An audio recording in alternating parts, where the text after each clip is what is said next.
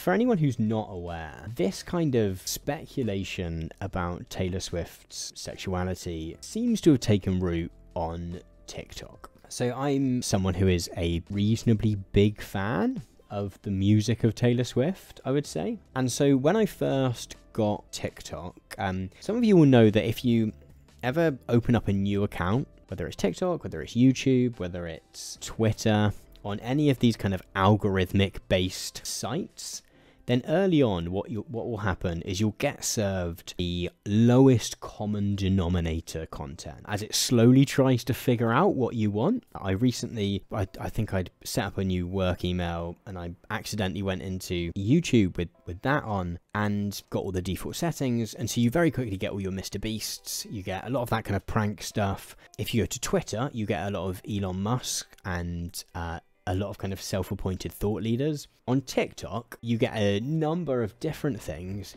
but one thing that you get a lot of is Taylor Swift content. But it was really interesting the point at which, after watching like five clips of Taylor Swift singing sad songs on a massive stage, it very quickly got to the point that it would then start recommending me these so-called like Gaylor videos in which people would speculate on whether Taylor Swift is gay or not. I wonder if we should take a little look at this article.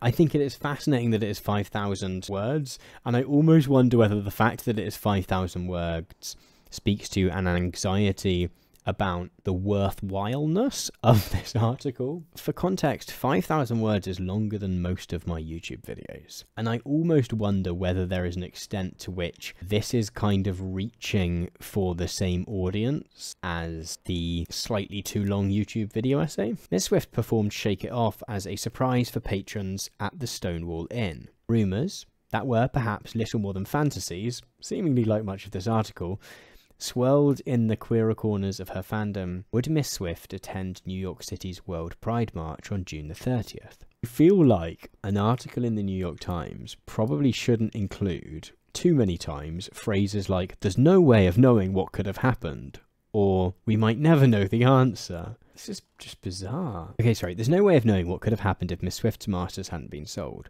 All we know is what happened next. In early August, Miss Swift posted a rainbow glazed photo of a series of friendship bracelets, one of which says proud with beads in the colour of the bisexual pride flag. It does not illuminate whether that is because she was a straight cis ally or because she was stuck in the shadowy, solitary recesses of the closet. Oh my god. There is something really depressing about just like the lack of belief in the idea that someone can't advocate for a community that they're not a part of, right? There's, there's something so depressing and unimaginative and just sad in terms of how you view humanity that you can't believe that someone could do that.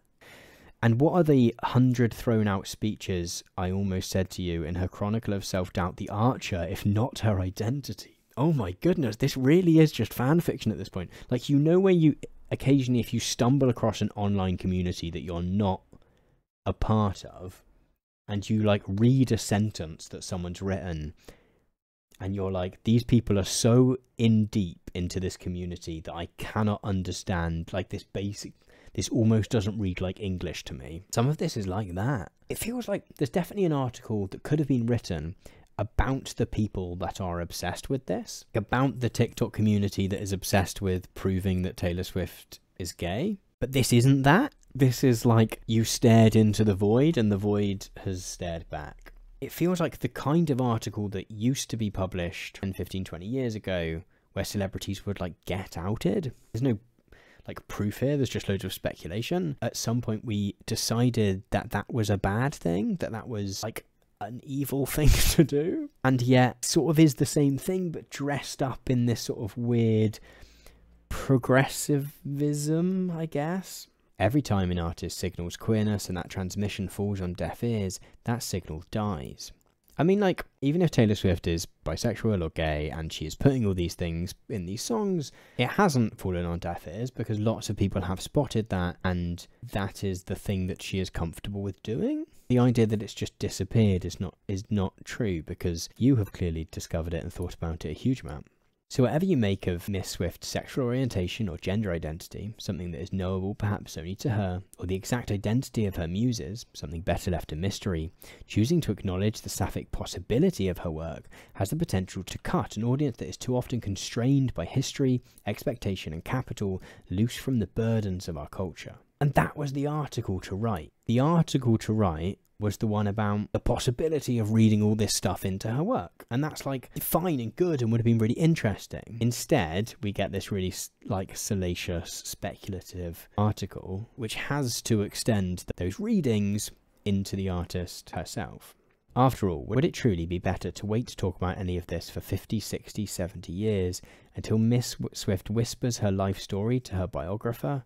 Or it is that thing of trying to preempt the criticism here and trying to like present this sort of tabloid journalism as kind of brave, I guess. Actually, about half this article is justifying the existence of this article to ensure that mea culpas come only when Miss Swift's bones have turned to dust and fragments of her songs float away on memory's summer breeze. And so, I must say, as loudly as I can, I can see you, even if I risk foolishness for doing so. yeah, that's true. Tiger Bouquet saying, I feel like Taylor Swift's life story is probably not going to be whispered, just generally looking at her career. Yeah, I don't think her songs are going to be fragments of her songs float away on memory's summer breeze. Like at this point, she is probably one of the biggest pop stars, not only now, but like of all time. Like, particularly if you consider how fractured our culture is these days. Like, not, and I'm not using that in a negative term, I mean that existence of the internet means that it is easier for people who are interested in really niche things to find other people who are interested in really niche things. That leads to a culture which is naturally a bit more fractured, right?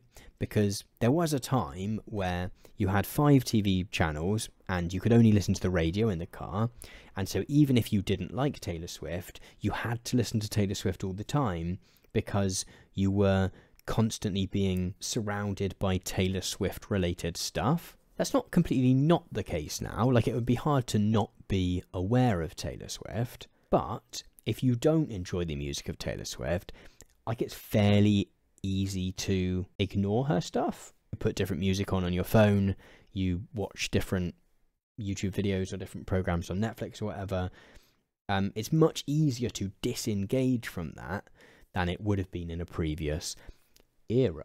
Because for the music industry, like that machinery meant that whatever artist the labels wanted to push, like they had a pretty good mechanism for doing so.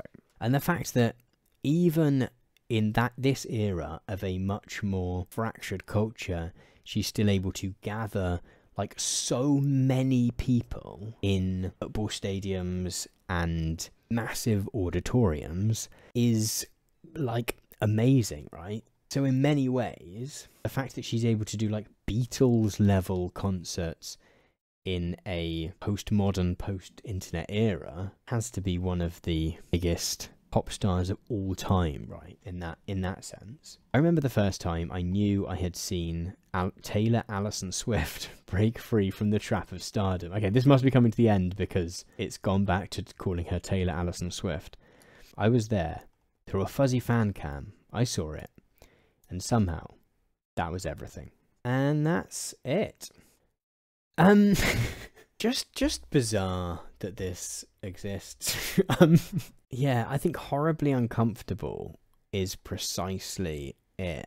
Like well written. I did not hate the prose style of this. This is clearly someone who is a talented writer. Like it does re- re- read like it was written by someone who is absolutely immersed in this Gaylor community. But yeah, this feels like the kind of direction that the social mediaization of the press is sort of bound to send us because they need the clicks, right?